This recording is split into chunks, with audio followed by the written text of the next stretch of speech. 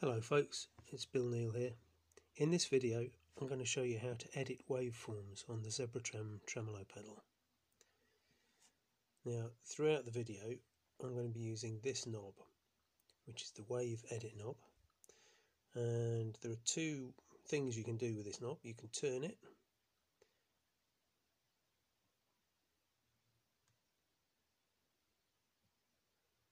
uh, which normally allows you to select a waveform or you can click you can press it in. And that gets you into edit mode. Now I'm just going to adjust the brightness. Hold on a sec.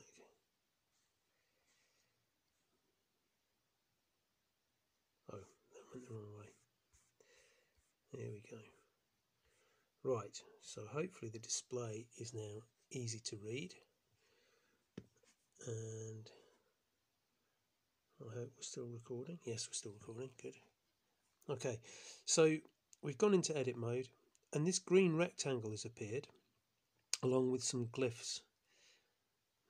These little yellow arrows and the the numeric label there. Now the green rectangle shows us which segment of the waveform is currently being adjusted. And the glyphs show us what aspect of that segment is being adjust, adjusted. And if I turn the knob now, I'm selecting different aspects or different segments to adjust. I can also, uh, if I go far enough, here we go, I can also adjust waveform properties like the name of the waveform I can copy the waveform, I can delete the waveform, and I can adjust the number of taps. I can also add a segment. And now I'm back to the beginning again. So there's a kind of a there's a kind of a loop of a circuit, if you like, of parameters that we can change. And to begin with, you're you're looking at the parameters for the segments and then later on you're looking at the parameters for the waveform the name number of taps that kind of thing. Okay so let's start with that first segment.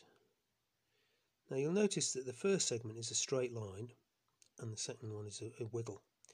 There are two kinds of segments lines and sines um, so that obviously a straight line. This one is a sine wave, um, which is a kind of a mathsy thing for anybody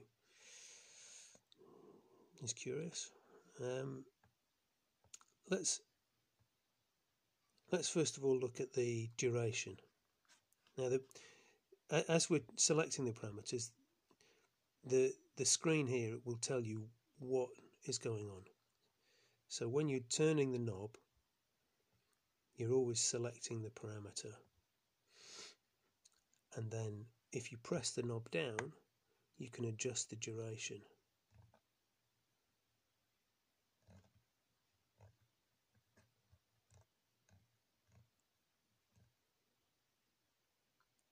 of the segment.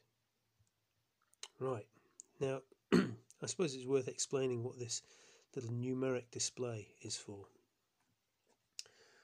Well, since the duration of a segment relates to tempo, um, it's important to know exactly how long something is. So this is currently a third of the length of the whole waveform, 0.5 out of 1.5. And if I increase it a bit. 1.0 out of 2.0, so that means it's half of the duration of the waveform. Now let's look at the, the start. When we adjust the start of a, of a, a straight line segment, it just does this. So that means it'll start loud and that means it'll start quiet. Same thing goes for adjusting the end.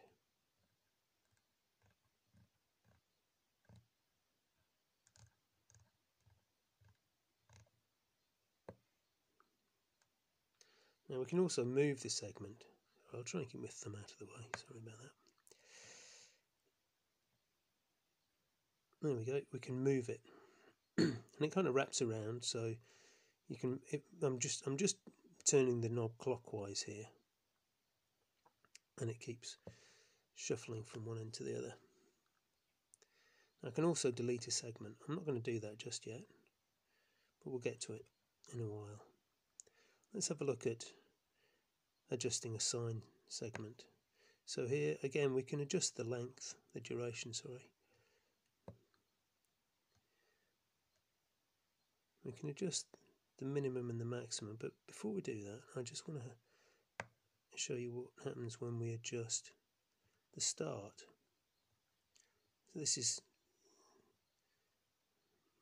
more of a sine wave than it was before and you know, we can decrease or increase the angle at the end of the sine wave there.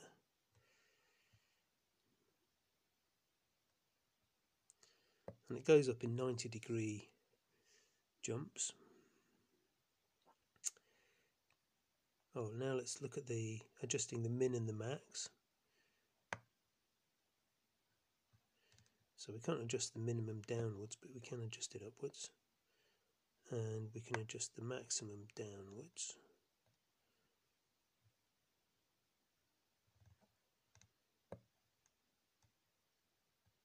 Sorry, what I mean is you can't adjust it below zero. That's zero, that's as far as it'll go.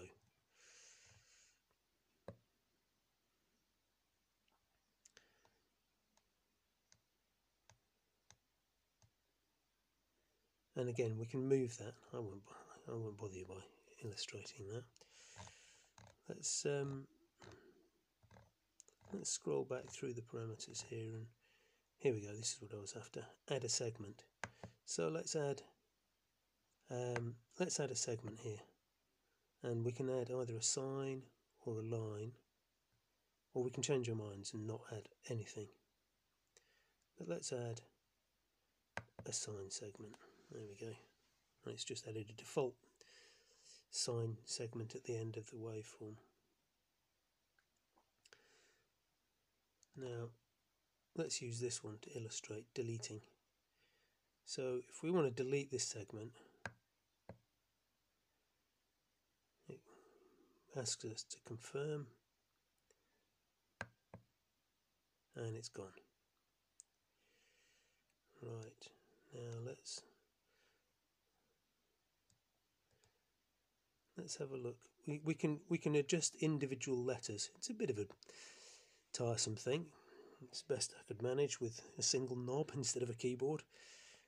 So on the on, on the character set here we've got we've got the uh, the English alphabet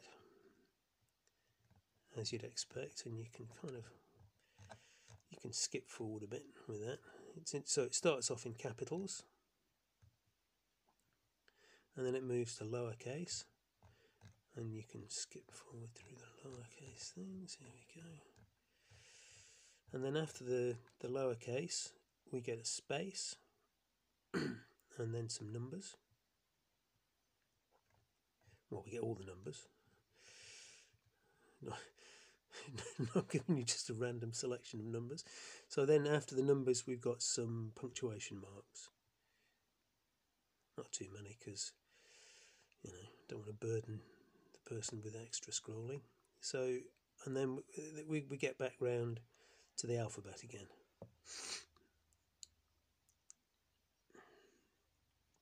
Um, so that's adjusting the name.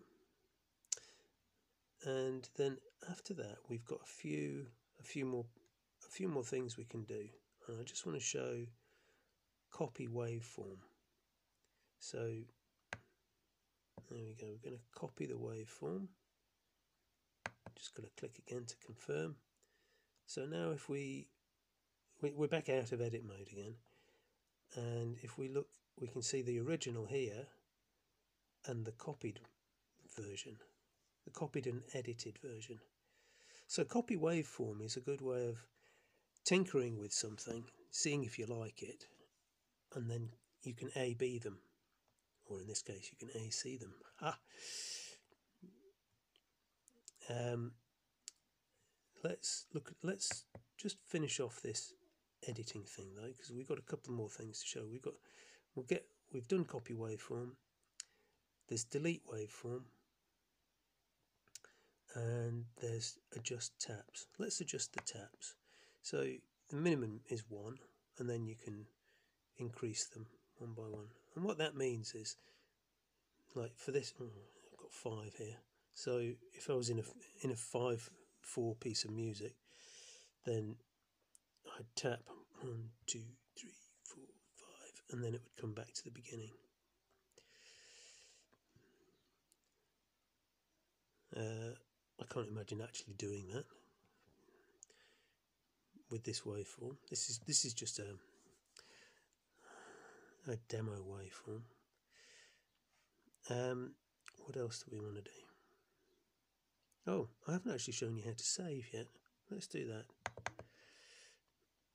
So when you're saving, you can you can actually discard your changes. So if you, I, I, think what would happen is I would just lose those um, those tap changes. Yeah, yep, there we go. Let's go back into edit mode. Let's change the taps. And we'll save. Okay, so now we've got wave A, wave C with two taps. And then finally, let's let's look at what happens when we delete a waveform. I'm going to delete this one now because it doesn't actually look very useful. Okay, so it's gone. We've got we're back to just having wave A. I hope that was useful, folks, and I hope my thumb didn't get in the way too much during that video. Um, thanks for watching.